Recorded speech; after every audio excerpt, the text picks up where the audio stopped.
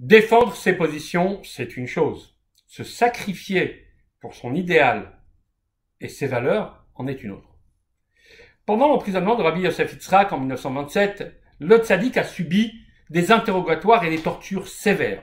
Ces tortionnaires, révolutionnaires, socialistes, désiraient qu'il leur livre la liste des yeshivot, des chadarim, des synagogues et des mikvot qu'il avait créés dans la clandestinité, ainsi que l'identité des chassidim qui en avaient la responsabilité.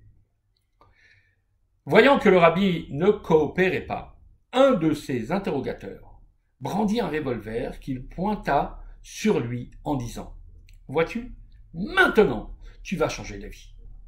Tu vas nous aider.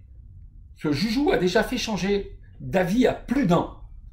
Le rabbi répondit alors d'un ton serein Détrompe-toi. Sache que ce jouet ne peut effrayer que celui qui a plusieurs dieux, plusieurs idéaux et qu'un seul monde. Or moi, je n'ai pas peur, car je n'ai qu'un seul Dieu, et je possède deux mondes.